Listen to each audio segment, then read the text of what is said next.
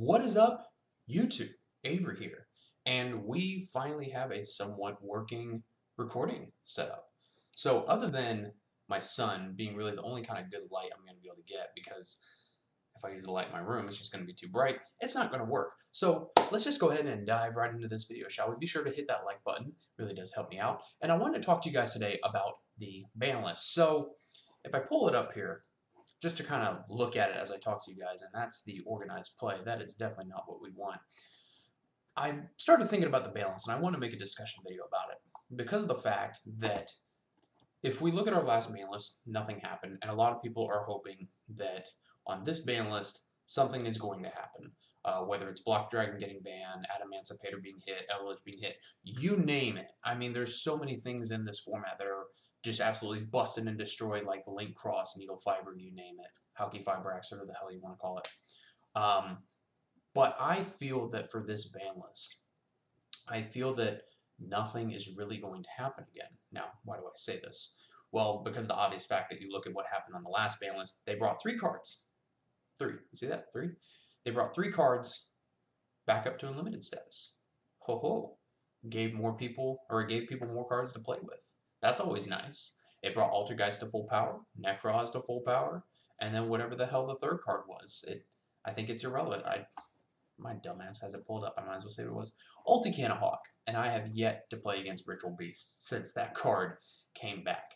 So I started thinking about with all this COVID crap, as I like to call it, going on, what if Konami took the time during this pandemic to bring back cards that have been on the ban list for however God knows how long. What if they started bringing those cards back to give us players more cards to play with, right? So what if we saw things come back? And I'm not saying that you have to bring back like FTK cards. Like you don't have to bring back Substitoad to three. I mean, that would just cause FTKs out the ass. If you don't open up a hand trap, you pretty much would lose. What if they were to do something like give Substitoad an errata, where it's only once per turn? They could bring that back up to three. Frogs now have another support card. Maybe Paleozoics be played more.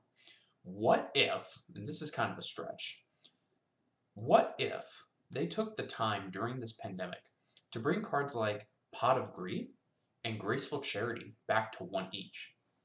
There's no events. And the locals that are participating in remote duels, which I've already given my speech on that, I think it's a pile of crap. I think it's absolutely stupid. But regardless, even if your locals is doing remote duels, and even if they're not, I know uh, I'm not going to name the locals, but I know that there's a local card shop in my part of town in Florida where the players put on the tournament per se and you like play for a box, but like the card shop owner is like, I don't know nothing about it. You guys are doing your own thing. This isn't Konami sanctioned. You do what you want. Basically giving them a place to play. But there's sort of like, I guess, under the table stuff going on with that because the players are able to host the tournament there. Anyway, I'm not going to say where it is. I just think that that's very interesting, and I'm sure a shit ton of other places are doing that as well. So if there's only locals going on, which let's be honest, Konami's not going to base a ban list off of local tournament results. You know, I mean, unless they have like some sort of OTS tournament, which again, you know, I don't think that they're going to do that over remote duel. I think that's just going to be too much craziness going on there. Or maybe they will, but again, I still don't think that they're going to base their balance just off of locals results.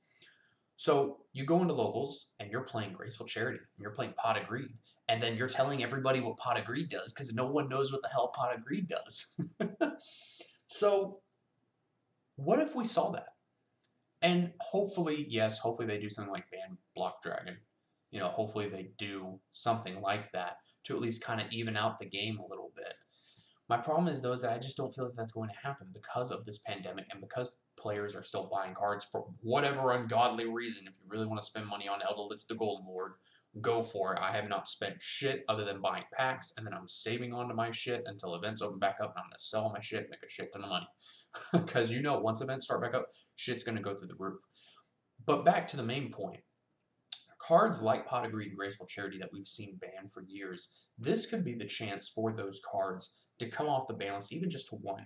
You don't have to bring all the cards that have been banned back to one or two or three, because there are a lot of cards that would just be absolutely overpowered and could cause FTKs in the game.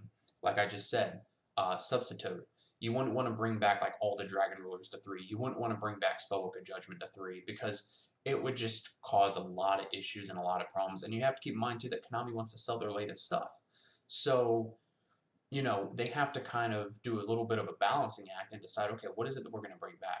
Obviously, they're not going to do something like bring back last turn because there's so many rulings with that card. It would be such a cluster headache, even for locals, to deal with that. So I don't think that they would bring something like last turn back. But looking at other cards on the ban list here, I mean, like Wall of Revealing Light hasn't need to come back to three for years because no one's playing that card. What if you gave more support to rogue decks, like bring back Macrocosmos to three, bring back Skill Drain to three, bring back Dimensional Fissure to three. Hell, put Sky Striker back at full power if you really want to do that. Put Multi-Roll and Hornet Drones and Widow Anchor all at three. Bring Pantheism to three. Uh, put one. I would love to see one day Peace back at three, but I doubt that's going to happen. Um, bring back Gold Sarcophagus to three, Foolish Burial to three, Final Countdown to three. I mean, there's a lot of cards that they could bring off the ban list here during this time of a pandemic that could give players more incentive to want to play. You see what I mean? Like if you're just like even if you get pissed off with what Konami brings off the balance, nothing says you have to play because you technically can't even really play right now. So why not give the players that are going to continue to play, no matter what the balance is, give us more of an option of more cards to play. Like bring Cyberjar back to one again during just this pandemic time. I'm not talking permanently. Once all these cards, once you realize they're kind of overpowered, like especially for locals and things like that, or even once events start back up, just reban the cards. You know, that way everything is still sort of balanced, if that makes sense. Um, you could bring back Cyberjar to one, bring back Dandelion to one. Um, I'm just kind of flame, I'm just naming off random stuff at this point. Fiber Jar to one. Uh, Luna, uh, no, actually, don't bring back Luna Light Tiger. don't bring back Magical Scientist. Don't bring back Magic Spectre Unicorn Kirin. Uh, Makyura the Destructor had a um, had, what do you call it, an errata. That can come back to three. People want Max C to come back so badly. Could you imagine if on this September balance, Konami said, hey, look, we're bringing Max C from ban to three during this COVID time. Once events open back up, then they can say, okay, Fiberjar's banned, Cyberjar's banned, uh, we'll reban Max C, you know, all these things. But players love Max C. So why not give those players that want Max C, give them back Max C? Personally, I hate Max C. I hate that card because it always hits me and I always have the worst luck with it, but I digress. Bring stuff like that back. Give us kind of more of an incentive to continue playing and experiment with other things. Now is really the moral of this is that I feel that a lot of cards that have been banned for years is our chance to bring those cards back and play with them again. I just brought up Pot of Greed Graceful Charity as an example because they've been banned for years. Now, of course, there are some cards that are very overpowered that you can't bring back, such as uh, Butterfly Dagger Elma because it causes FTKs, Confiscation, Delinquent Duo, um, cards like that just they can't come back unfortunately. The same goes for Mass Driver. It just it incentivizes those FTKs. Um, Harpie's, Feather Duster, and Heavy Storm, I feel a lot of people have been talking about that those cards can come back. Um, Snatch Steel, we saw come back for a time and then got rebanned.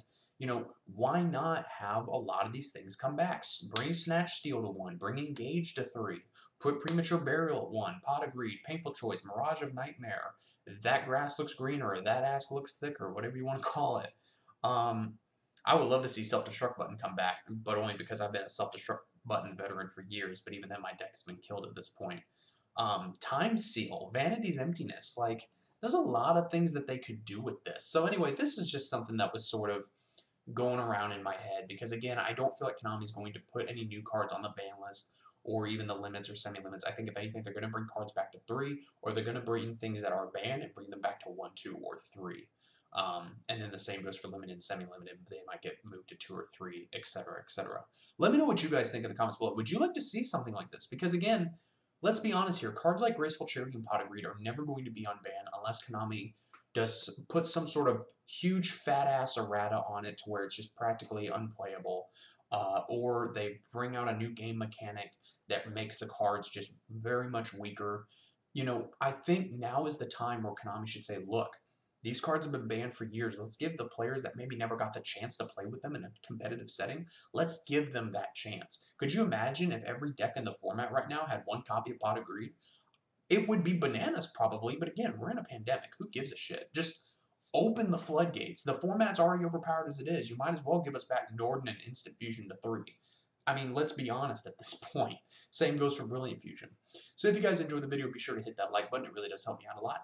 And let me know what you guys think in the comments below. I'm really interested to hear what the community has to say about this. Thank you guys for watching, and I'll see you in the next video.